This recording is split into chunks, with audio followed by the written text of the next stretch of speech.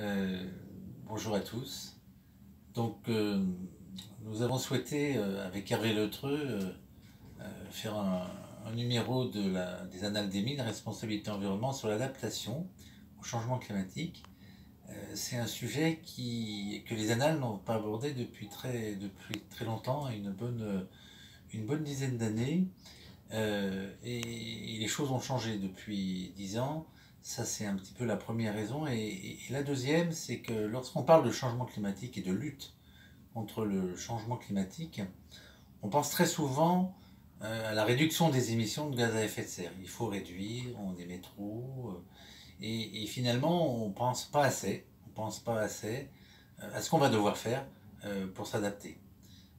certains disaient même que c'est pas la peine de, il faut pas discuter de ce qu'on doit faire pour s'adapter parce que ça va gommer, ça va réduire notre énergie pour euh, finalement réduire les, émissions.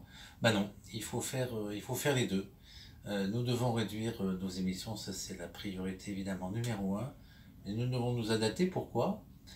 Parce que d'abord le climat a déjà changé et le climat va changer dans les 20 ans, dans les 30 ans, quoi qu'on fasse sur les émissions. Si demain on s'arrêtait d'émettre en totalité, le climat euh, commence, continuerait à se réchauffer, puisque le, carbone il reste dans l'atmosphère, le gaz carbonique reste dans l'atmosphère, et la Terre continue de se, réchauffer.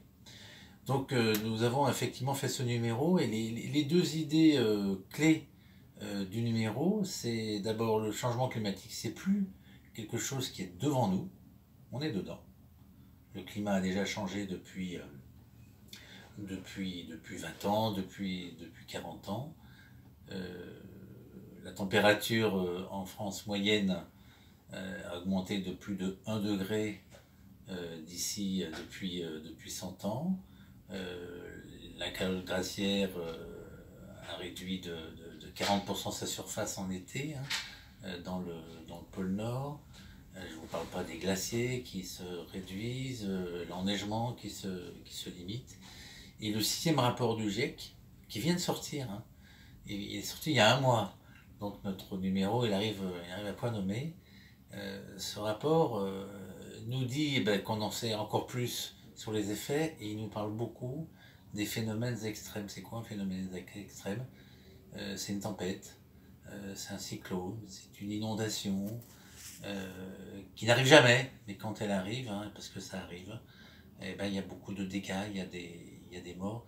Et ce rapport nous dit que les phénomènes extrêmes vont augmenter en, en fréquence et en, intensité. Et c'est un, domaine euh, auquel on n'a pas l'habitude de penser. Quand on pense à réchauffement climatique, on pense à la mer qui monte, température qui monte, va falloir on, va s'adapter tranquillement. Ben non, là on a des phénomènes extrêmes.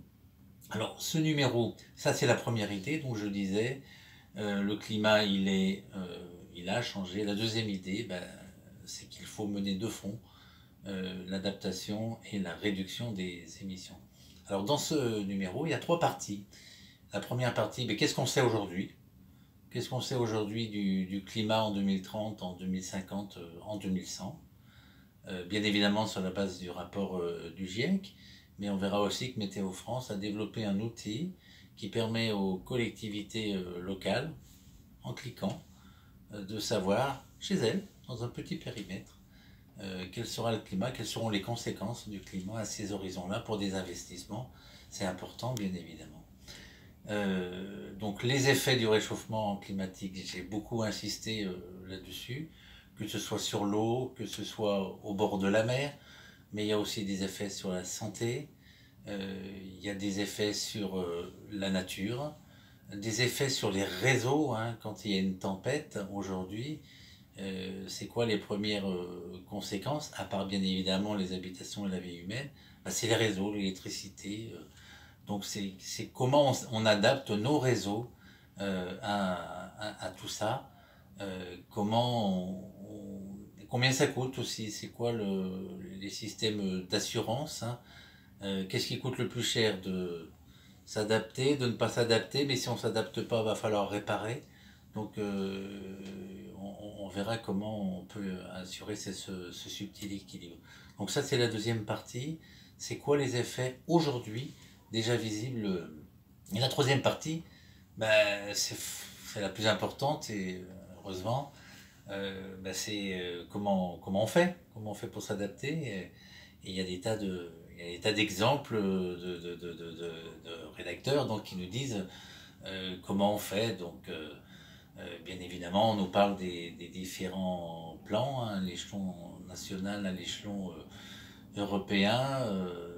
on nous parle de l'adaptation dans les villes. Hein. c'est évidemment très important de s'adapter dans les villes un, investissement qu'on fait aujourd'hui, qui est en général appelé à durer 20, 30, 50 ans, il ne faut pas regarder les risques d'aujourd'hui, il faut imaginer les risques qu'il y aura dans 50 ans, et c'est extrêmement euh, compliqué, surtout dès lors qu'il y a de l'argent euh, derrière, bien sûr.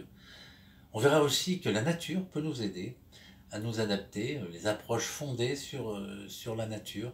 On pense bien sûr aux arbres en ville hein, qui réduisent les îlots de, de, chaleur, mais plus généralement, pourra voir où nous en sommes sur le, sur le sujet. Euh, et euh, on aura également euh, un article qui vraiment au bout du jour, je pense, c'est ben, la paix dans le monde finalement. quand on pense qu'aujourd'hui, plusieurs millions, plusieurs dizaines de millions de réfugiés sont des réfugiés climatiques, et on en aura dans les prochaines années plusieurs centaines de millions. Euh, comment faire finalement pour adapter notre équilibre mondial et, pour continuer à, avoir la paix dans le monde. Évidemment, dans un phénomène où il y a malheureusement des guerres, mais comment, comment fait-on pour travailler à l'échelon mondial euh, sur le sujet? Donc voilà, j'espère que ce numéro plaira à ceux qui le liront.